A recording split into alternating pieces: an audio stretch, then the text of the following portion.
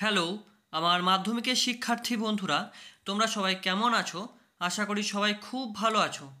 আমার Oxford education চ্যানেলে তোমাদের সবাইকে আরও একবার স্বাগত। আজকের এই ভিডিওতে আমি তোমাদের সাথে আলোচনা করব তোমাদের মাধ্যমিকের ভূগোল সাজেশন দু হাজার চব্বিশ নিয়ে। আজকে তিন নম্বরের প্রশ্নগুলি নিয়ে আজ আলোচনা করব। এর আগে আমি দু নম্বরের প্রশ্নগুলির সাজেশন দিয়ে দিয়েছি আমি আমার চ্যানেলে।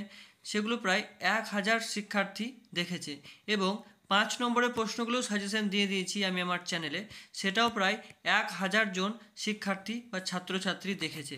তোমরা চাইলে অবশ্যই আমার চ্যানেলে গিয়ে সেটা দেখে আসতে পারো। তোমাদের জন্য মাত্র কুড়িটি প্রশ্ন রেখেছি আমি, মাত্র কুড়িটি, সমস্ত বই থেকে, গোটা বই থেকে মাত্র কুড়িটি প্রশ্ন রেখেছি এবং এই কুড়িটা প্রশ্ন পড়লেই আমি আশা করছি তোমরা, তোমাদের যে তিন নম্বরের যে চারটে প্রশ্ন লিখতে হয় বারো মার্কে সেই চার, সেই চারটে প্রশ্ন অবশ্যই তোমরা কমন পেয়ে যাবে, এইখান থেকেই কমন পেয়ে যাবে, এইটুকু গ্যারেন্টি আমি তোমাদেরকে দিচ্ছি। একদম লাস্ট মিনিট সাজেশন একেবারে দেখতে ভুলবে না ভালো করে দেখে নাও এবং কোন কোন প্রশ্নগুলি আমি সিলেকশন করেছি। একবারে রিসার্চ করা প্রশ্ন এই প্রশ্নগুলো।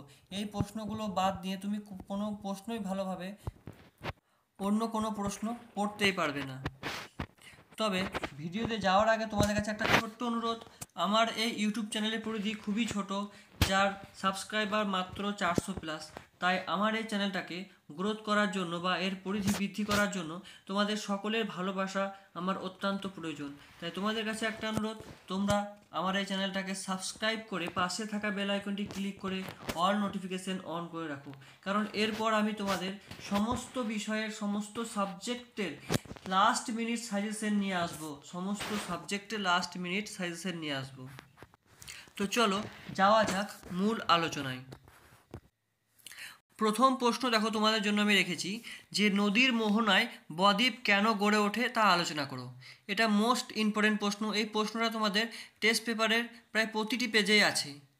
দু নম্বর প্রশ্ন দেখো, সব নদীর মোহনায় বদ্বীপ সৃষ্টি হয় না কেন?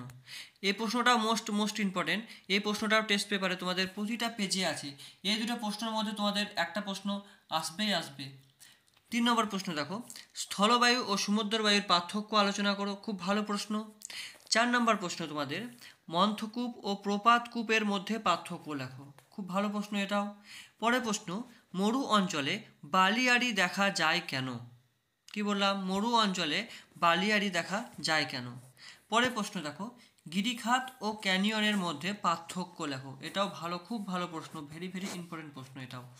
নেক্সট প্রশ্ন দেখো। নদী উপত্যকা ও হিমবাহ উপত্যকার মধ্যে পার্থক্য লেখো। তারপরে প্রশ্ন, ঘূর্ণাবাত ও প্রতীত ঘূর্ণাবাতের মধ্যে পার্থক্য লেখো। এরপর আসছি তোমাদের ন নম্বর প্রশ্নতে দেখো। জৈব বিশ্লেষ্য বর্জ্য ও জৈব অবিশ্লেষ্য বর্জ্যের মধ্যে পার্থক্য লেখো। এটাও মোস্ট ইম্পর্টেন্ট প্রশ্ন। টেস্ট পেপারে তোমাদের প্রতিটি অধ্যায়ে প্রায় প্রায় এই প্রশ্নটা তোমাদের দেখতে পাওয়া যাবে। নেক্সট প্রশ্ন, বর্জ্য ব্যবস্থাপনায় ফোর আর পদ্ধতির গুরুত্ব লেখো। পরে প্রশ্ন, পরিবেশের উপর বর্জ্যের প্রভাব আলোচনা করো। নেক্সট প্রশ্ন, বারো নম্বরে, জৈব ভঙ্গুর বর্জ্য ও জৈব অভঙ্গুর বর্জ্যের মধ্যে পার্থক্য লেখো। এই প্রশ্নটাও খুব ভালো প্রশ্ন।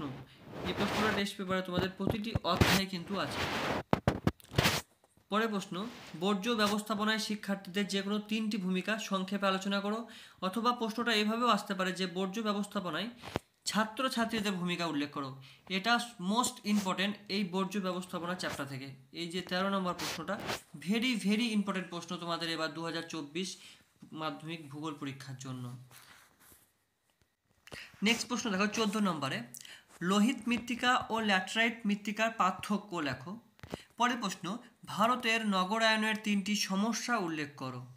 নেক্সট প্রশ্ন, বহুমুখী নদী পরিকল্পনা কাকে বলে? এই পরিকল্পনার উদ্দেশ্যগুলি কী ছিল? পরের প্রশ্ন, ভারতে মৃত্তিকা সংরক্ষণের তিনটি পদ্ধতি আলোচনা করো। নেক্সট প্রশ্ন, সামাজিক বনসৃজন ও কৃষি বনসৃজনের পার্থক্য লেখো। এই প্রশ্নগুলো চোদ্দ থেকে আঠেরো পর্যন্ত, এই প্রশ্নগুলো তোমরা পাঁচটা প্রশ্ন পড়বে, এর মধ্যে তোমরা অবশ্যই একটা কমন পেয়ে যাবে কিন্তু। খুব ভালো ভালো প্রশ্নগুলো আমি সিলেকশন করেছি। নেক্সট প্রশ্ন তোমাদের লাস্ট চ্যাপ্টার থেকে দেখো। উপগ্রহ চিত্র ও ভূবৈচিত্র্য সূচক মানচিত্রের মধ্যে পার্থক্য। এটাও মোস্ট ইম্পর্টেন্ট প্রশ্ন এবছর দু হাজার চব্বিশে তোমাদের জন্য। পরের প্রশ্ন জিও স্টেশনারি ও সানস সানসিনক্রোনাস উপগ্রহের মধ্যে পার্থক্য লেখো, এটাও খুব ভালো প্রশ্ন। পরের প্রশ্ন উপগ্রহ চিত্রের তিনটি ব্যবহার আলোচনা করো, এটাও খুব ভালো প্রশ্ন।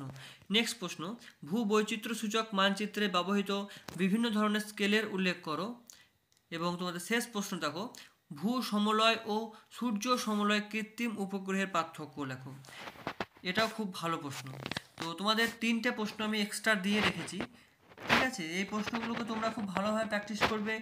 আমি আশা করছি এবং তোমাদেরকে গ্যারেন্টি দিচ্ছি যে তোমাদের যে চার নম্বরের যে, তিন নম্বরের যে চারটে প্রশ্ন লিখতে হয়, সেই চারটে প্রশ্ন এই আমার সাজেশন থেকেই তোমরা কমান পেয়ে যাবে।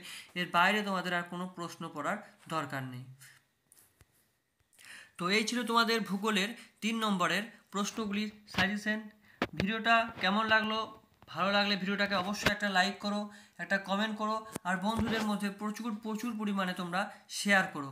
আর আমার এই চ্যানেলটাকে অবশ্যই সাবস্ক্রাইব করে পাশে থাকা বেল আইকনটি ক্লিক করে অল নোটিফিকেশান অন করে রাখো।